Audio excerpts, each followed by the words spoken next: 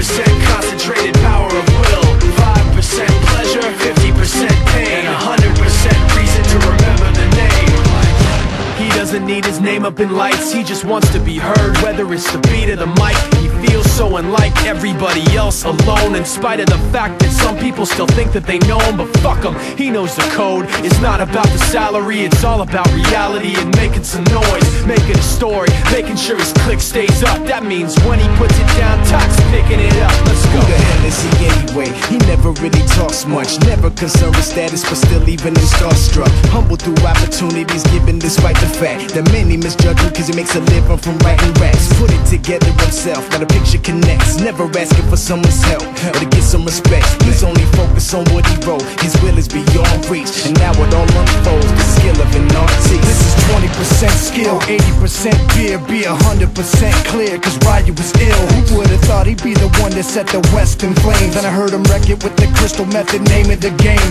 Came back, dropped mega death, took him to church. I like Bleach, man, Ryu had the stupidest verse dude is the truth, now everybody giving them guest spots His stocks through the roof, I heard he fucking with that This is 10% luck, 20% skill 15%